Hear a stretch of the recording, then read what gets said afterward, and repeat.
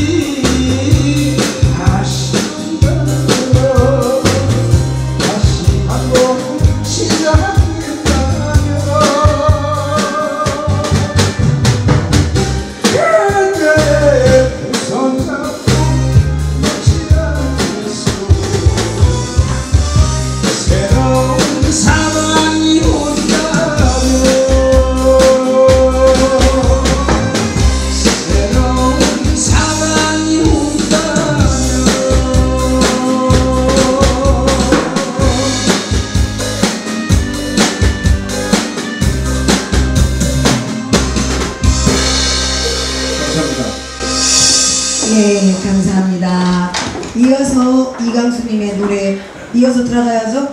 내 사랑 꽃순이. 내 사랑 네, 꽃순이. 예, 청해 듣겠습니다.